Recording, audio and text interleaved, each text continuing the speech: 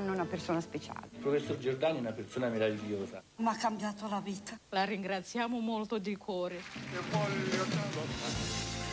Fermo! Con questa dichiarazione d'amore ti voglio tanto bene. Emozionato, non so cosa dire. C'è una cosa dentro, non lo puoi spiegare. Ma quante sorprese